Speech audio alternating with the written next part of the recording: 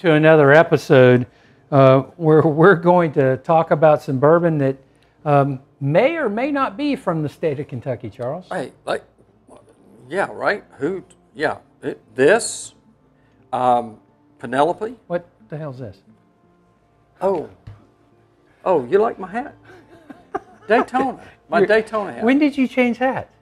Well, you know, my father. Uh, this was, you know, you know, I'm gonna deviate here. So just get off of this. You know, we always talk about the stories, right? We talk about the stories, and and I, you probably know a little something about Daytona. Hey, high wide enhancement and championship groove, bobbing and weaving, picking up speed with every turn of the wheel, into the first and out of the second, representing every color of the rainbow.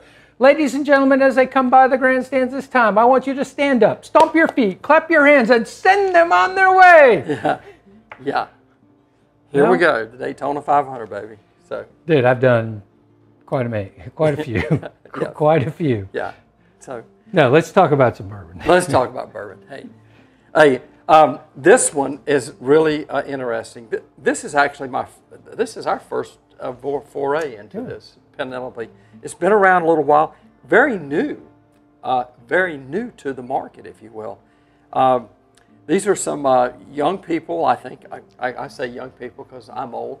Um, kind of got together, started a distillery, or if you will, or a, a company, uh, sourcing MGP uh, products, um, using our friends at Bardstown Bourbon Company as, as uh, to help them with. Uh, uh, I, I'm thinking the blending and, and uh, bottling of this thing because it does say that it was it was uh, bottled in in Bardstown uh, country.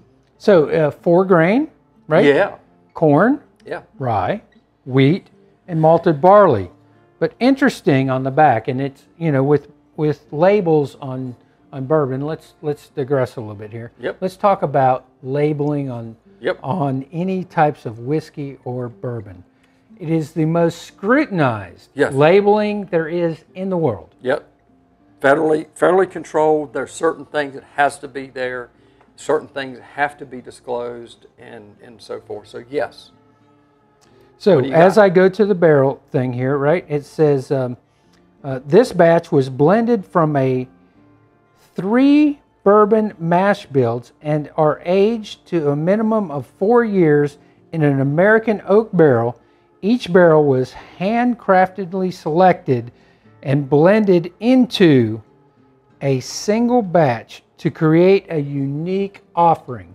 So that's what they're doing. They're craft craft, Blending. craft blending to get to a certain thing. You know, and, and listen, if you follow, if you kind of follow uh, the Bardstown Bourbon Company's uh, stuff with the Fusion series and so forth, you kind of understand that, that, that it's, it's kind of a new model. It's a new model. So when they say they used three different mash builds, so what I take from that, and, and, and again going to the front of the label, it's three different mash builds of four grain juice, right? Yes. And so they, they're using this one and they barrel this, barrel that, but it's all across in the same deal, right? So I think they described that here. They Right. pick um, three mash builds aged at a minimum of four years each, Yeah, right? right. Each barrel was carefully hand selected. Hand selected. So anyway, um, So small batch. it, it- it's small batch, right? Small batch, but it kind of goes down the line, if you will, of, of um, the Fusion series or, or some of the other things that Bardstown Bourbon Company's doing. And, and it's not even them, it's, it's a lot of people. Barrell Bourbon, Stellum. You, you can pick all of them where they're, they're, they're blending and pulling together different barrels, different batches, and, and bringing them together, marrying them to get to something. And, and you're, boy, you're telling, you're working that on the nose. Yeah, and so it's got some great stuff. You're probably not going to smell it because you're still at the damn racetrack smelling hot dogs and hamburgers, right? Burning rubber and gasoline, Yeah. right? Yeah. Oh man. So this Penelope is just um, this one being, th- and this is a barrel strength. Okay, this is 115.8, almost 116 proof. I don't get that on the nose. like so i'm not getting ethanols the heads and the tails that we talk about uh, the heads which is the first part of what comes off the still and the tails, which is the last part, not getting any of the heads and tails. So uh, during the distillation process of, of this particular juice, um, I don't, I'm not smelling any of that. But sometimes, Charles, it can be covered by the barrel. So oh. I'm Oh. getting some sweet, I'm almost getting a candy scent here. And the reason I'm dissecting it, Oh, you're going to really like that. oh my God, I got That taste first sip. Oh, my goodness. Oh, wow. So that's a shock to palate, but yet you're going, wow. So talk to me here. I I got listen, okay, so the 115 almost the 116 proof, it's there, right? Uh, but not in a bad way. But the flavor explosion just it just it explodes. It just fills your palate. Just and and I had I had fruits and florals and things going on, and it was just uh, it was overwhelming. For the that was, first that sip was your first sip. first sip, a little overwhelming. And, and what it immediately, you know, we talk about those, those things, you, you know, things that you kind of, your experiences. What I experienced there was, and I hate to do this, but it's almost that fusion series where you get those big, gigantic flavors. So So I'm getting. I'm getting candy. It brings me back to my childhood.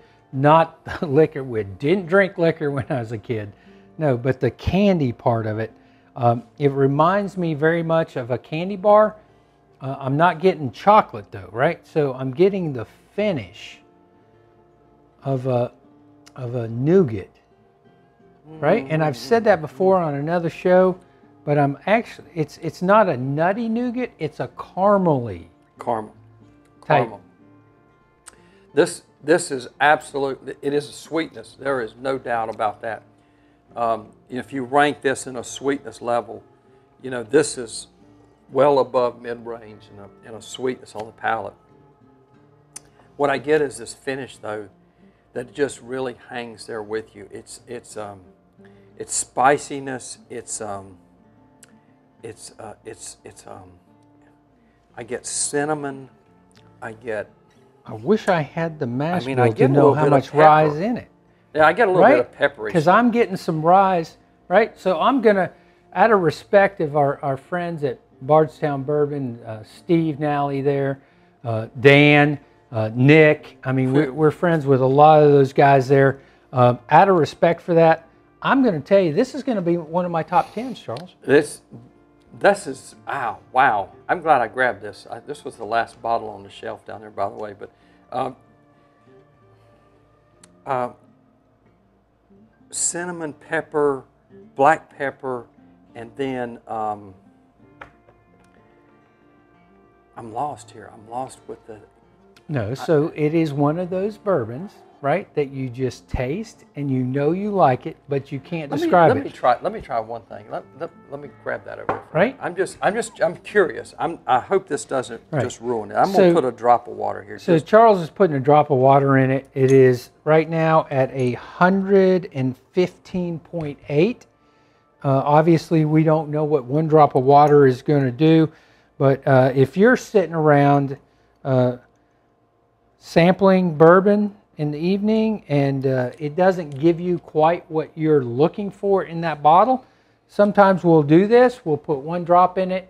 Uh, that's what the ice does right. ladies and gentlemen. The Yeah. ice actually melts, and as that ice melts, the flavors of that bourbon move throughout the melting of that ice.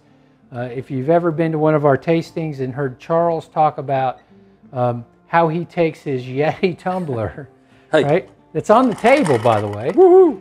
And um, um, it could be any other kind of tumbler. Maybe we all don't have the kind of money Charles has, but right. at the end of the day, uh, that ice melts and that flavor profile moves. So, Charles, I tell you, one drop of water. Here's what happened.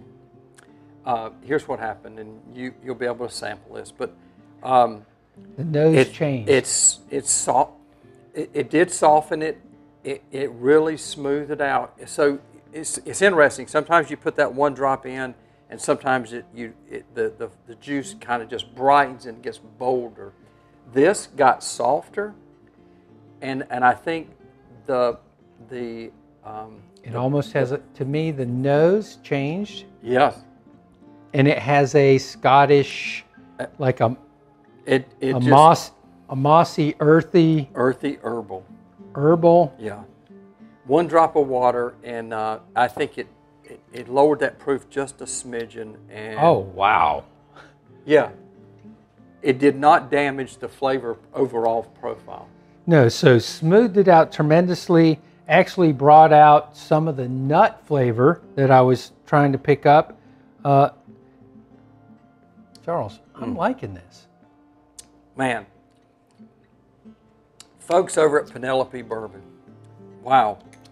I'm gonna go. job. I'm gonna go one more before we end the show, uh, because sometimes it can ruin it, and uh, sometimes it can make it better. So 115, we probably proofed it down to 100, guessing. Uh, let's do one more 110 on the nose. Again, change the nose again. So I'm getting a bacon, not a bacon, a a a, a, a baking baking. spice I was going to say bacon. I'm getting Right, A couple the- so this is- like sage. wow. All right, hang on. You know, this is really cool.